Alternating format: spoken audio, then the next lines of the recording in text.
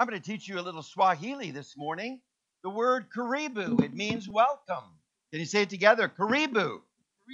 You're pretty good at that. It's the 12th most spoken language in the world, Swahili. You've already become more bilingual today. Let's say it together. Karibu. Exactly. Now, when do you use that word? And it's always appropriate to know when to use a word and to use it appropriately. That would be in the context of someone coming to your home. For in the African tradition, in the tradition of those Swahili speakers, it's appropriate to yell, Hodi, Hodi, Hodi. That means sort of knock, knock, knock, because quite often in the mud hut, there's no place to knock on your door. And the dwellings places may be uh, very simple, and so it's appropriate to come up to the door. And as you come near, about 15, 20 feet away, start yelling, Hodi, Hodi, Hodi. That's not howdy, that's a southern. But Hodi, Hodi, Hodi, meaning, uh, can I come in? Can I come close? And Karibu says, come near, welcome, come near, come on in. In other words, y'all come, as if you're from southern Kenya. Uh, there we go. So it would be all that kind of idea that it's a welcoming spirit. So it is as we think that every day there should be a period in our lives in which we close our eyes and go within and invite God to come in, where we say, Karibu, where we say, come near, come in. It's not so much that we're saying that God is distant or removed or God is somewhere out there outside of us, but that an invitation of God coming within is coming within our consciousness, coming within our awareness. For the presence of God is already there within you, for that presence dwells within you.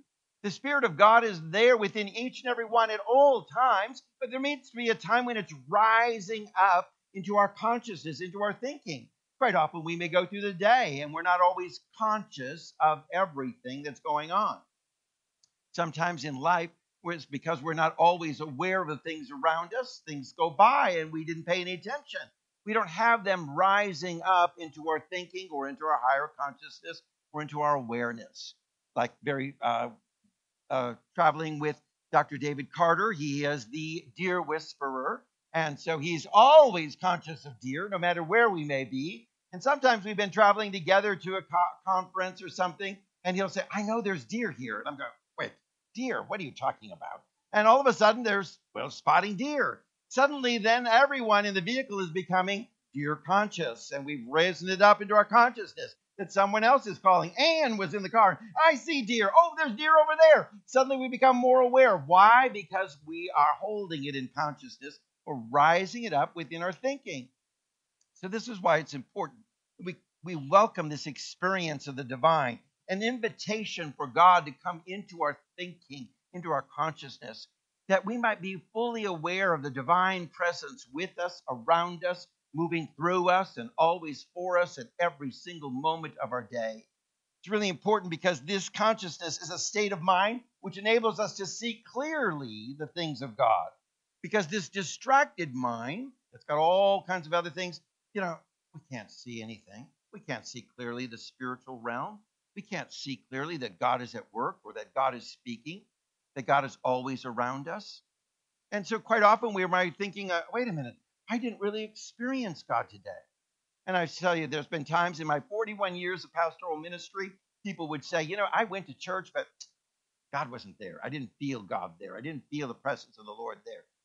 I didn't connect. And the same service, someone else would say, Whoa, I felt the presence of the Lord there. I felt connection with God. I felt really uh, an amazing experience. This was really a powerful experience in the presence of the Lord.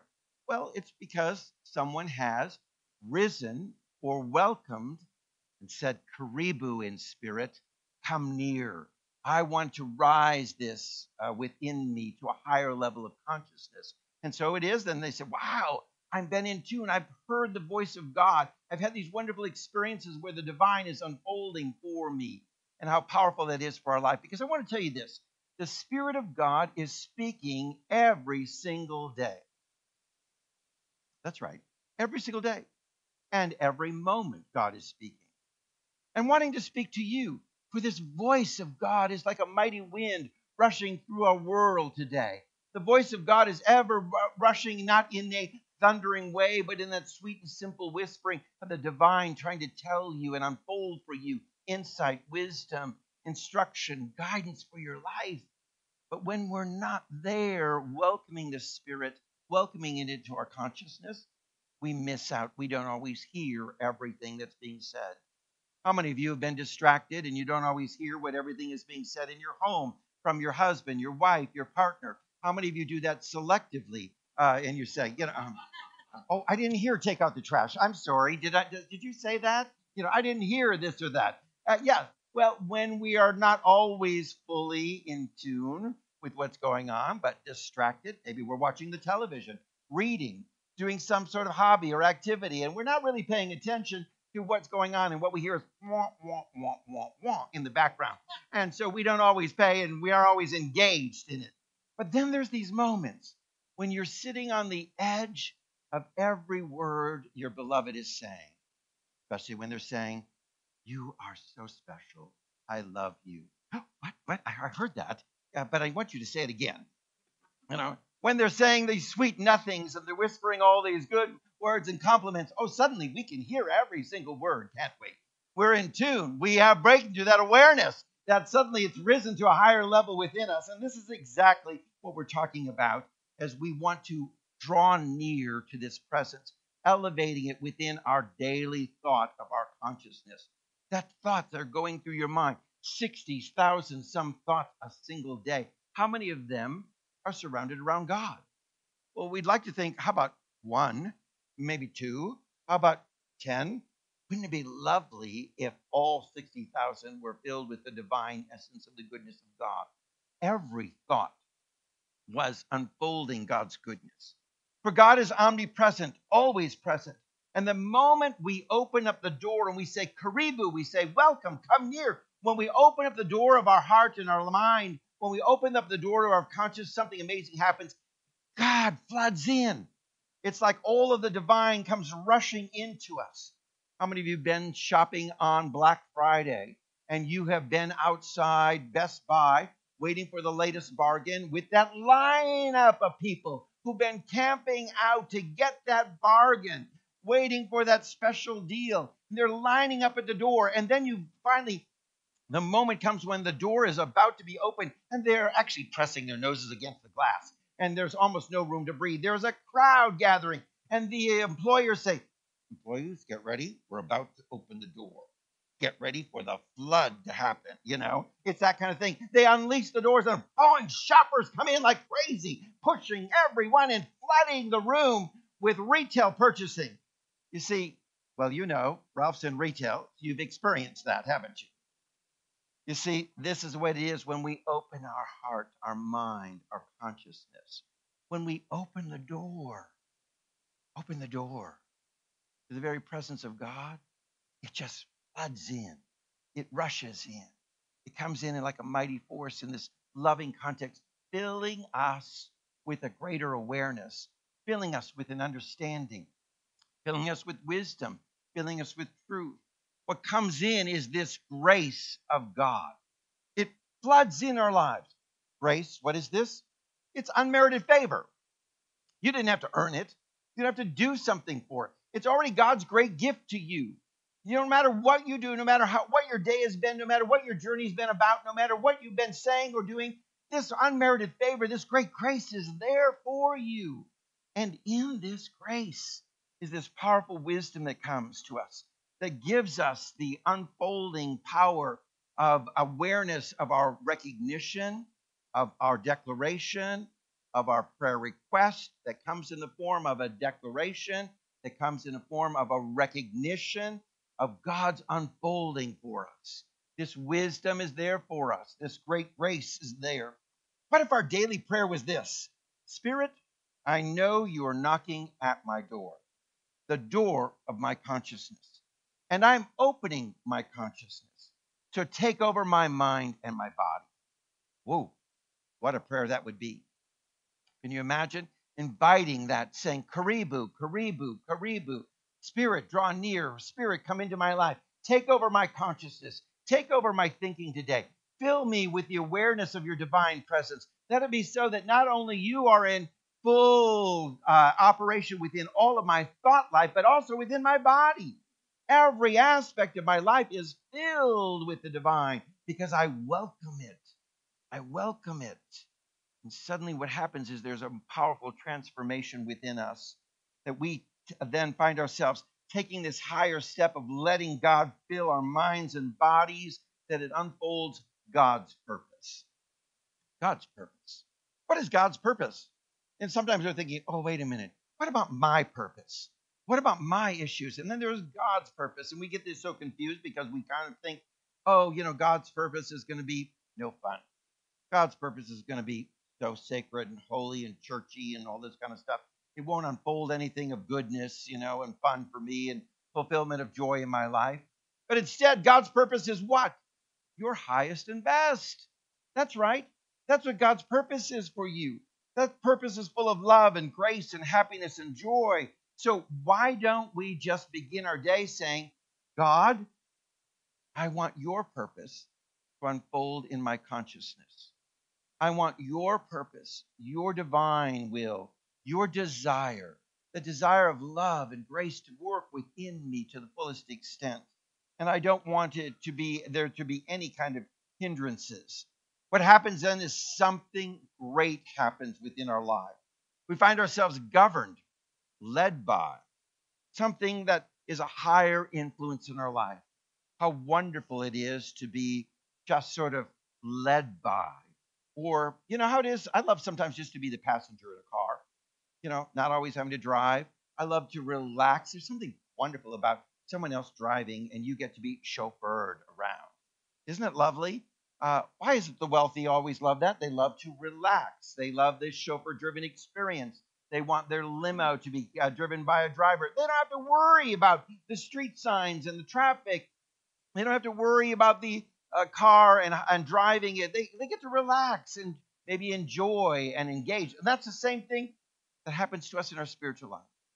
When we allow God to come in and sort of do the driving, and we get to be the passenger.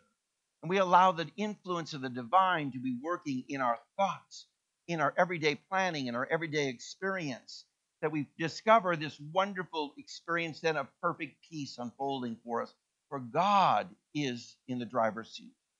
Now, here's the thing I want to make sure that you understand this very clearly that even though God may be in the driver's seat, God is not controlling. God is not controlling. We may think that God is, oh, we say God is in control when we surrender. But remember that surrender is a choice. You had to make that choice. God doesn't say, I'm in control whether you like it or not. I've made the choice for you. No, God waits for you to make the choice. So that surrender, that choice to open the door, that choice to say, Karibu, come near, that choice is yours and it's within you. For God is not in controlling, but God is then leading as you offer the surrender or the permission, as you offer the awareness, as you allow the divine to rise in your consciousness. You see, we find this all through Scripture and we love the 23rd Psalm and its beautiful pictures, don't we? The Lord is my shepherd. We find it so uh, beautiful to see this beautiful word picture of a shepherd leading the sheep and guiding the sheep. Well, we find here that the great shepherd leads, but doesn't control. In fact, there's a passage in Scripture that says, Thy rod and thy staff, they comfort me. They comfort. Oh, we get this a little confused. We think, wait a minute, the shepherd has a rod. Bang! The shepherd has a staff. I'm going to pull on him. I'm going to beat those sheep. I'm going to whip those sheep. The good shepherd is a loving, leading force, an entity, an energy, this divine wisdom that unfolds for us for our highest and best. It's not a punishing, it's not a whipping, it's not a beating, it's not a destructive, it's not a, uh, that creates suffering kind of energy at all. For let's look at really understanding this Bible symbolism that was so beautifully used. For in the ancient times, a shepherd would have a rod and a staff. Those are the only things or tools that the shepherd would have. Didn't have all kinds of mechanisms or modern tools or conveniences that we may say. Didn't drive through the fields in a Ford F 150 and with the radio blaring and to the latest tunes and having horns to honk at the sheep and or maybe dogs to help along, but all alone, a shepherd boy would have a rod and a staff. And the rod was in the shepherd's hand to do something amazing. The rod was used to count the sheep. Now, the shepherd's responsibility is to make sure all the sheep were together and in the fold, all the sheep collectively together. So the rod would be used to count, counting out one, two, three, four. And it would be so that even the counting process would be extending the rod out and allowing the sheep to pass under the rod as they maybe move through out of a corral or out of an open space into another area. So there's this wonderful expression that's found in Ezekiel 20 in the scripture I will cause you to pass under the rod, and I will bring to you the bond of the covenant. In other words, that's very symbolic for the ancients understood the shepherd's work of holding out the rod and the sheep being counted as the rod was there. And you and I are being counted by the spirit and presence of the divine.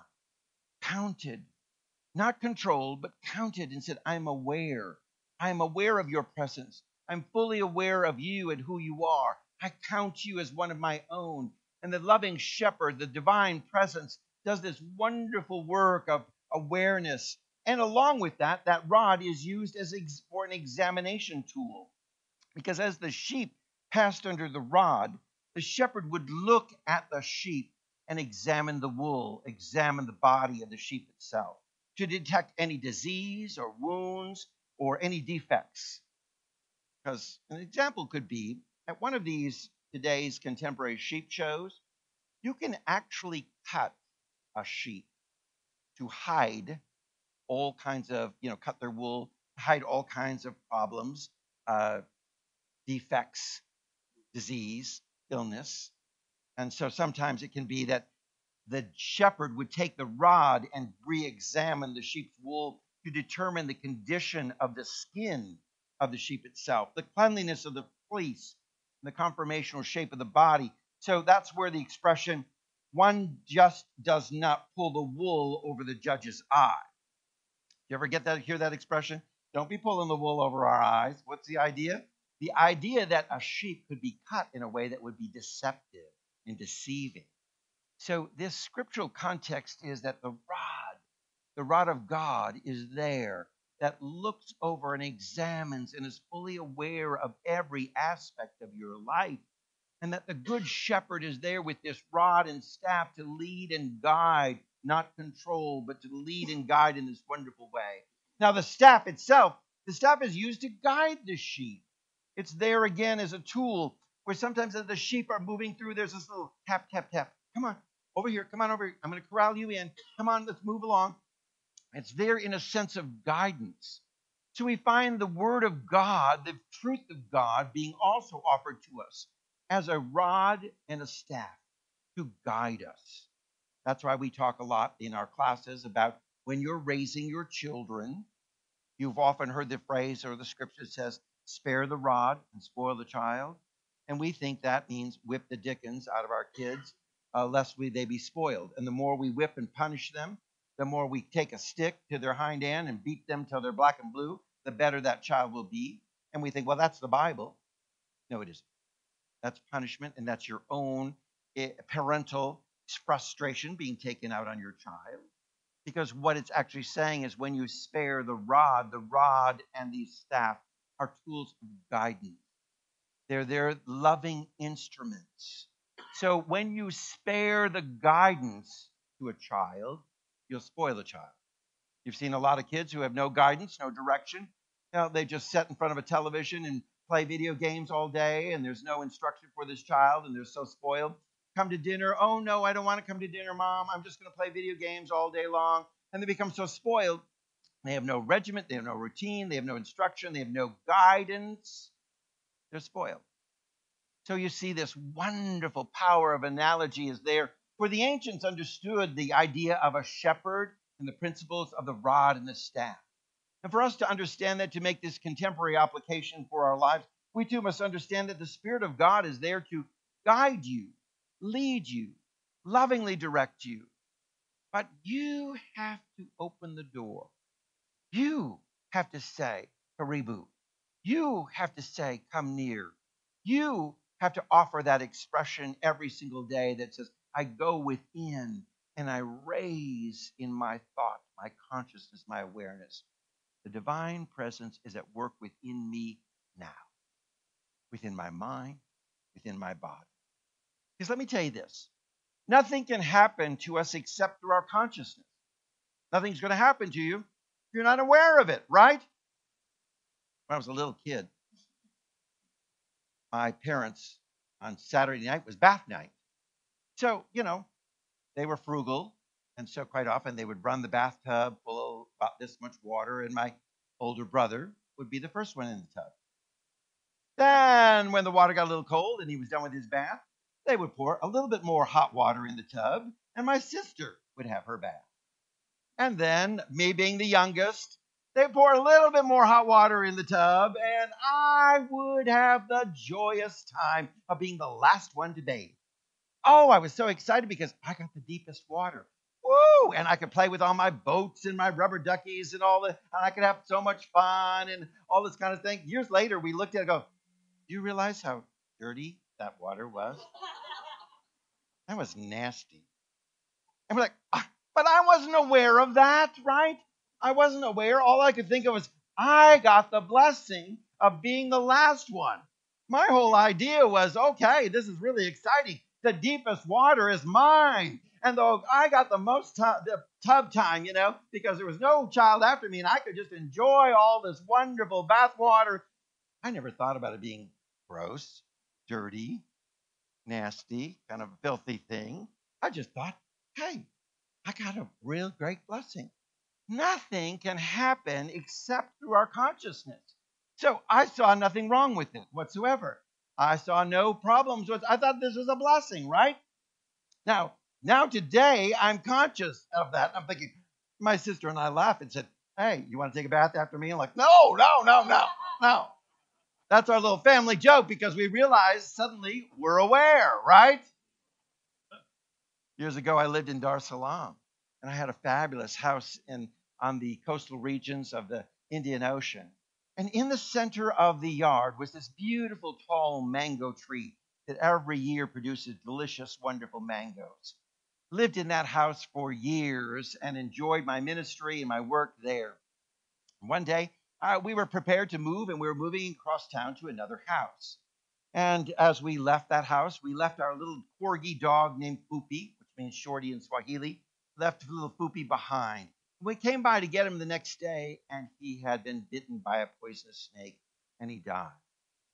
And the people who had just moved into the house said, We're so sorry. We were taking care of your dog, but unfortunately, he got bit by a snake. We didn't realize that there were snakes around this house. I said, Snakes? I never saw snakes. Oh, yes. You see, we're going to cut down this mango tree. I said, What? He said, It's filled with green mambas, poisonous snakes. In fact, we parked our car underneath the tree, and two green mambas fell out on top of the hood of the car. And one, I had my hand, he said, I had my hand on top of the roof, and the green mamba fell almost on my hand, and I was just, we're terrified. This tree is infested with snakes. And next door, they're doing a construction project. There was kind of a marshy area next door to our house, home on the other side of the fence. And they're going to be building there. And so they're clearing out all the marsh and a 16 foot boa constrictor came out into our yard. I'm like, whoa, whoa. And I said, Were you not aware of all these snakes? And I said, No, I was never conscious of snakes. Now, I have to say, there were probably snakes all around me, but I wasn't aware or afraid or conscious. So you see how it shifts everything? And suddenly now you're like, snakes are everywhere. Snakes are everywhere. I know there's snakes here. There's snakes all over. And suddenly become they become snakes. They begin to see snakes every single where they went. You see, it's all depends upon what your consciousness is. How many of you found yourself in a spirit of naivete, maybe, and you've gone out and done something that someone said, Whoa, that was pretty risky. And you go, It was risky? I didn't even think of it that way. I didn't think that I might be in danger. I didn't think that there might be a problem. I didn't think this would cause an issue. You see, it nothing unfolds for us unless we are really seeing it in consciousness. So it is that everything that touches our life must touch through the awareness of our consciousness. And that's the Spirit of God. Because I'm going to tell you this How many of you are aware the Spirit of God is moving right now? How many of you are aware that God wants to heal, work, manifest? And we were like, oh, I'm so busy doing church. I'm busy having this experience. I'm busy here. I didn't really think God's speaking to me right now? That's right. I, I really wasn't thinking that way. I wasn't conscious of that. Everything will touch our lives through the awareness of this alert mind, consciousness that's awakened to say, I know God is speaking in this moment. We live in a three dimensional world. You know what that is? You know, it's quite often three dimensions. We've got the length, we've got the width, we've got the height. We think of everything in a physical realm, right? We live in this three dimensional world, so we're constantly thinking from a three dimensional perspective. But Jesus invited you to see the world in the fourth dimension. That's right, Jesus was quite advanced in science. What? When did he talk about the fourth dimension? I don't know any scripture that's quoting that. Jesus said the kingdom of heaven is within. And he spoke about this wonderful dwelling of God within us, a fourth dimension of understanding that we may look in a spiritual world and see spiritual things taking place.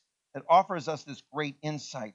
So we welcome something that is doesn't necessarily always be outside of us, but it's something that's happening within us. We begin to see things. That's why we live and operate and believe and preach and teach a metaphysical teaching. What is meta? Beyond the physical. Because let me tell you, if we're coming to church, and if all of our religion is just all about the physical realm, whoo, a lot of hassles, a lot of limitations, a lot of shortcomings, right? Because the limitations of this world are found in the length, the width, and the height. That's all. But when we awaken that Jesus invited you to live spiritually, metaphysically, beyond the physical, to begin to see and embrace all that which is metaphysical, that which is there, and to welcome it and say, Karibu, welcome to this wonderful experience of seeing now the divine at work within us. That we suddenly begin to look for things not outside of our life, but things within our life. We look to see things inside of us. And we see how they're unfolding within us. We see grace at work within, love at work within, peace at work within. We may be looking for all those things outside, and we can't find them. But when we're living and operating from that spiritual realm, we find this wonderful unfolding of that inward work and that inward world. It comes from the center to the circumference of us. From the center out, it goes. This full awareness that says, God in me, the divine in me, the kingdom of heaven within me, the presence of God within me, however you like to describe it, is there and it's from my center. It's radiating outward. It's going outward in a way that is transformational. It is flowing from me. As we may think and expect everything to come to us, it begins as it flows from us. So I am, through my consciousness, I have access to this kingdom that's within, this power, this presence, this insight, this wisdom, this understanding, this unfolding of great. Now, today's text, you read it. You may be familiar with it. You may have seen the picture of Jesus knocking on the door, and that text below it saying, I stand at the door and knock. That translation really means I stand at the door of your consciousness and I'm knocking. Hodi, Hodi, Hodi, waiting for you to say, draw near. Not to come from without, to rise, welcome, to rise in our thought. It says, I stand at the door of your consciousness, your awareness, and I knock. Not only am I come that you might have life more abundantly, but for those who will, who will come, they will uh, express and experience this wonderful thing that I will come to him and eat with them and them with me. When we welcome this divine presence in, what happened is get ready to feast. Get ready to feast. the goodness of God is going to unfold for you. The truth of God is going to unfold for you. Suddenly, your whole life is going to be transformed because suddenly now you're thinking God thoughts and you're going to be feasting on truth, wisdom, insight that's there for you. I love this text because it says, I will sup with you or eat with you in different translations. Well, what are we going to eat with this divine spirit in the spiritual world? Uh, uh are we going to have pizza together? Is, are, are, God and I going to have, you know, lasagna? You know, uh, veal parmesan? Oh, certainly, right, right. If you're Italian, uh, there you go, Joanne. Uh huh. What, what will it be? Will it? Is it going to be a vegan meal? Uh, you know, what will I be eating with God? What will I partake? You know, I mean, what does God like? Does God like steak? Good God, you know, does God like ham? Oh, could be kosher. Uh, you know, so we look at this kind of thing and we got to move away from the physical. The whole unfolding is that God will eat of the truth, the bread of new understanding. The truth symbolized by bread. Jesus broke bread and he gave it to them. He's breaking bread constantly. The Spirit of God is unfolding bread, which is symbolized by truth, or bread symbolizing truth for us, that we might eat of this truth. For the Spirit of God is going to share this truth with you. For in the great tradition of Eastern living and Eastern culture, it would be so that many times there would be a piece of bread and someone would tear from that loaf or that, that pita bread or whatever it may have been in their cultural time, tear off and hand it to someone else and actually feed someone else. Even in this, this story of the Last Supper, that there would be those who would dip that bread in that sup and they would pass it to a next person and feed one another. Today's culture, like, oh, we're like, I got space issues. Don't be coming at me with a fork. Don't be coming at me with your dirty hands. Did you wash them hands? You know, what are you doing before you start feeding me and start putting something in my mouth?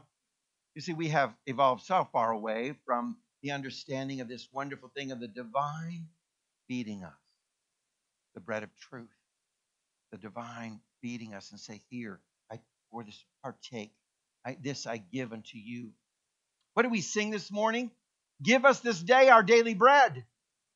That's what we just sang, that prayer. Did we mean anything? Did it mean anything to us? What it was saying is, give us this day that which sustains us, nurtures us and strengthens us.